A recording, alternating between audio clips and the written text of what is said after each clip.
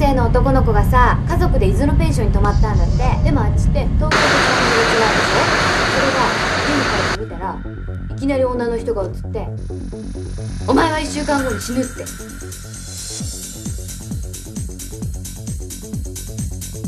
それで電話がかかってきたって。ええ。じゃあ俺が見終わったらここの電話が鳴るわけだ。4人死んでるのよ。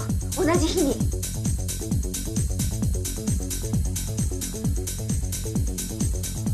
それ何のテープですか？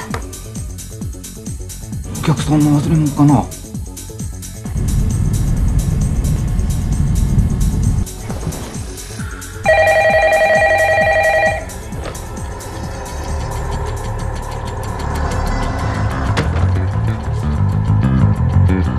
ダビングしといて。くれ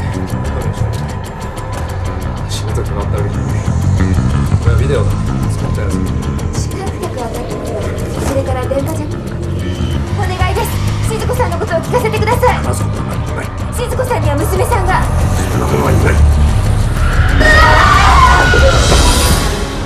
貞子の死体を見つけてやろう。それで呪いは解けるの？陽一も助かるの？できる